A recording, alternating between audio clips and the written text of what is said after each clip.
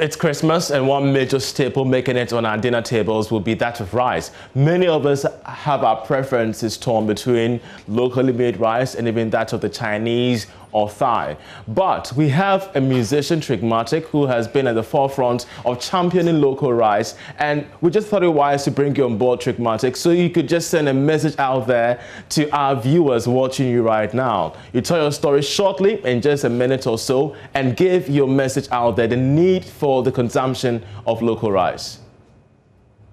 Thank you so much. Um, I'm, I'm happy that we're having uh, you're having us on. Uh, greetings from the Kwaba team.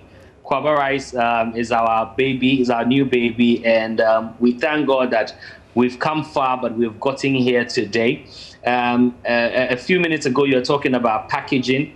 Uh, we've traveled uh, the many journeys of Great. getting the right packaging for that's good. That's good news. But Trick, just give a message to consumers out there.